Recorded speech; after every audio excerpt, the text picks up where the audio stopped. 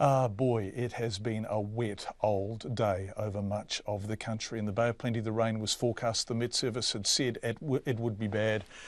And Edgecumbe has had serious flooding before, but when the water came, it did so so very fast that even a town that had been warned and knew what it could be like was caught out by the speed of the water and by how very much of it there was. Somewhere approaching 2,000 people had been evacuated from along the Rangitaiki River, from Edgecumbe, from Te Teko, and from rural communities along that river and the Whakatane River too. Much of the Bay of Plenty town, just north and slightly inland from Whakatane, is still underwater. The Mayor will join us live shortly. And we've spoken to people whose homes are underwater, some for a second time. But first, our reporter Zac Fleming and our cameraman Bradley White are in Edgecumbe. Zac, where are you coming to us live from? John, I'm on the banks of the river, standing right next to the stop bank that collapsed and brought all of this water rushing into Edgecumbe early this morning.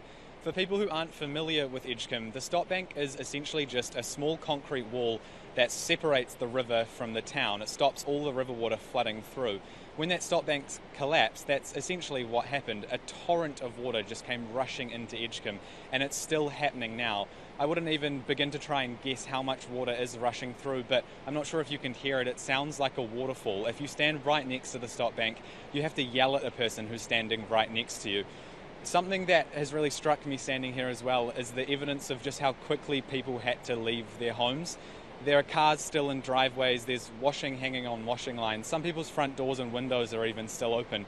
They actually had to just rush out of their home when the stop bank collapsed.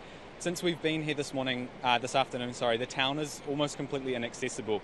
Uh, you have to go around houses on boats. There are surf life saving crews and just good sorts locals with boats who are going around the town trying to check that everyone has uh, been evacuated properly. Just a river coming down through the main street and right across the road. It was just crazy. Yeah, rubbish tins everywhere and guys screaming around in jet boats picking people up and cars stuck and yeah, just a mess. Have you tried to help rescue anyone? Anyone need a rescuing? Uh, we've run quite a few around and said, you know, there's plenty of room at our place if they want to come and stay, but everybody seems to have been pretty well organised. They're all evacuated. Um, so, yeah, it's just another thing for Edgecumbe, isn't it? Yeah. You're pretty chipper about it all, mate. Well, what can you do? Yeah. Yeah, you can't stop it, it's here. I was standing on my back lawn looking, talking to the neighbours, ready to hang out at washing, and yeah, this is the whole we got to go, and seen it coming through our fence from behind, knock over the back fence, and where it came. I mean, what was it like? Did it kind of come trickling It through? just came or- trickling through, yeah, and then it sort of knocked down the fence, and then in she come. And how much water? Are we It talking? would have been, yeah, knee high within seconds. Mm. And what were you thinking at this point? Um, I saved my dogs, uh, get them inside, and then get get my kids out. And so, what did you do after that? Uh, after I got all the kids out, got the dogs in, then we got rescued.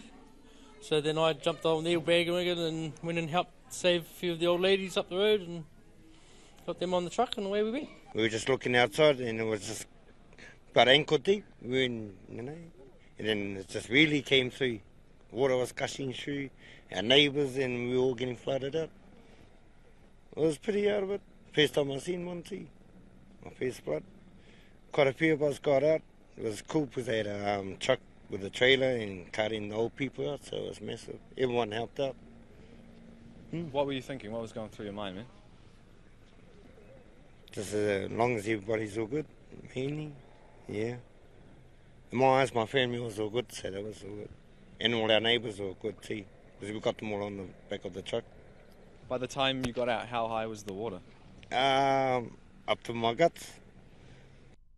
Up to his guts. And Zac, you are crossing to us live. We can see you standing there. For people listening, uh, it's impossible to see where the river ends and the world begins. There is just so much flooding and it is so fast moving behind you. It is just torrential and there is so much of it. So, when will people even remotely be able to consider returning to their homes? The people I spoke to today weren't exactly sure. Some of them have been told that they might be able to reassess tomorrow if they're on the outskirts.